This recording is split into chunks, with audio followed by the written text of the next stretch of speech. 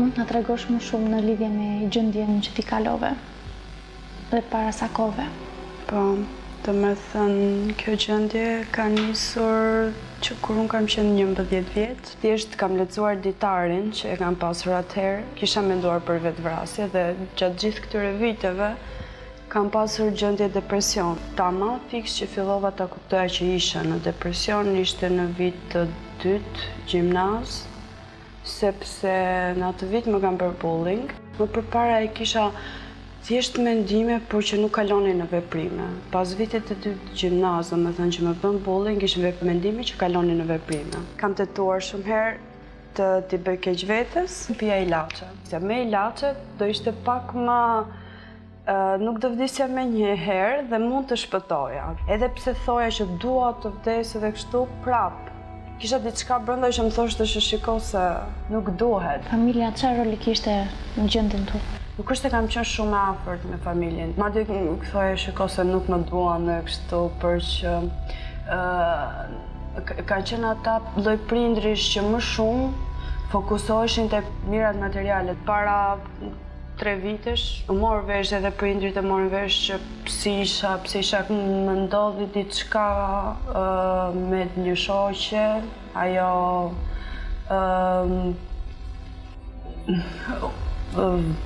vdiq, s'e di si të them. E kam përjetuar shumë keq sepse E kisha në krah gjatë gjithë kohës që e kemi çuar në spitale. Dhe aty thjesht unë s'e mbaja dot për brenda më. Dhe pastaj prindërit e morën vesh edhe që atëherë ka ndryshuar totalisht marrëdhënia. Ti na thua që ke provuar disa herë domethënë t'i japësh fund jetës. Na e përshkruan pak si është ajo gjendja para se të vesh drejt aktit.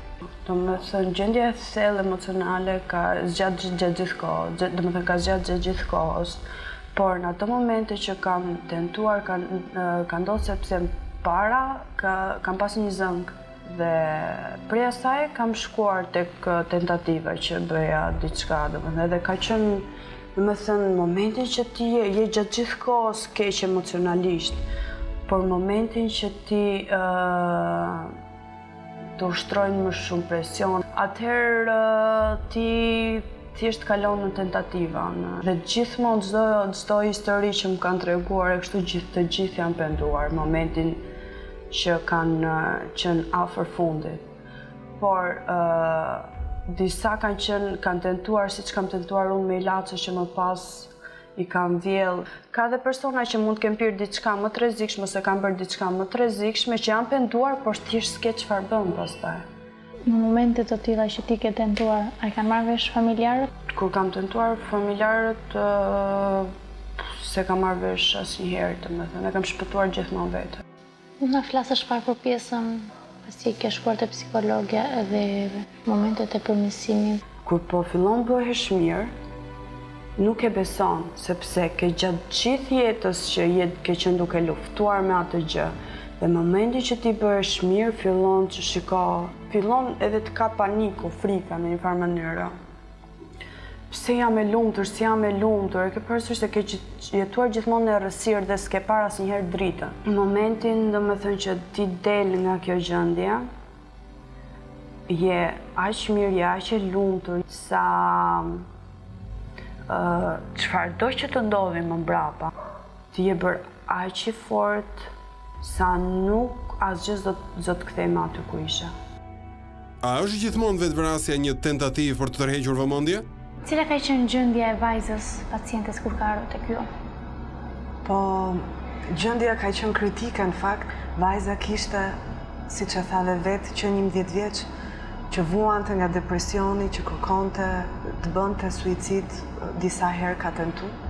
Gjatë hipnozës me vajzën jemi përballë me traumat e saj që njëra ka qenë më e rëndësishmja që kishte induktu gjithë gjithë këtë depresionin apo gjithë këto tentativat suicidale.